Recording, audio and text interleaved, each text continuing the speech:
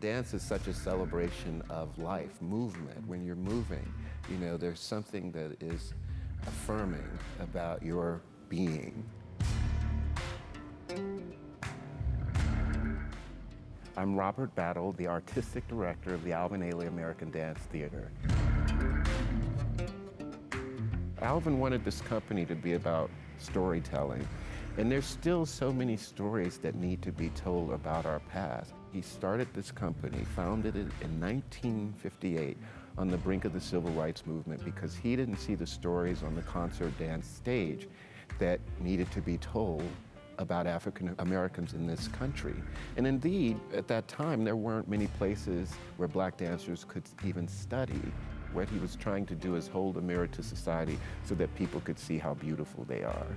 And I believe in that. And I believe that we do more than just entertain, that we are a necessary part of the cultural fabric of this country, and that we have a mission.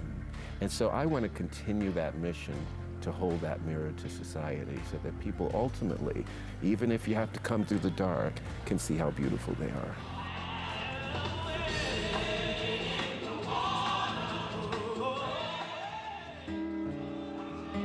I was born bow-legged, and, and, I remember what I had to do was uh, to have braces put on my legs at night when I slept.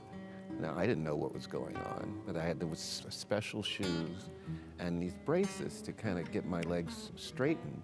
And so in some ways, I think that's probably why I dance. Not consciously, but there was something about having that be the thing that you had to overcome. And so I wasn't just gonna walk, I was gonna run. And then once I stopped running, I was gonna dance. I was about 12 years old, and we got bussed in to see uh, the company.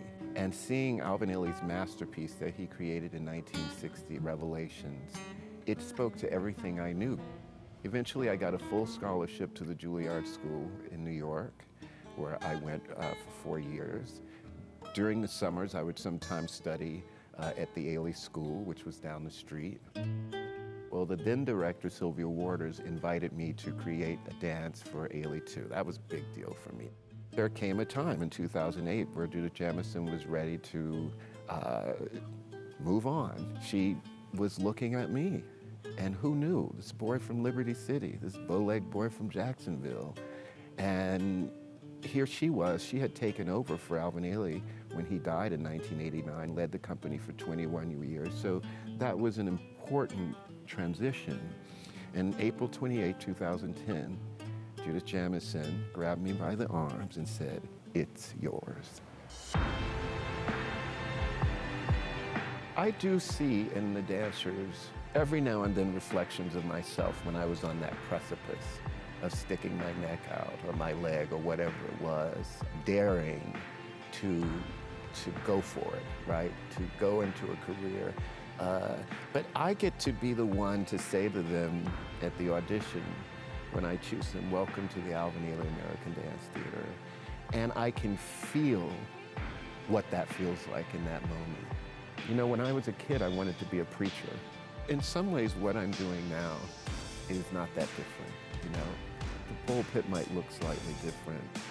No robe, nice jacket, but I still feel that I'm spreading the gospel of the power of dance and Alvin Ailey's legacy.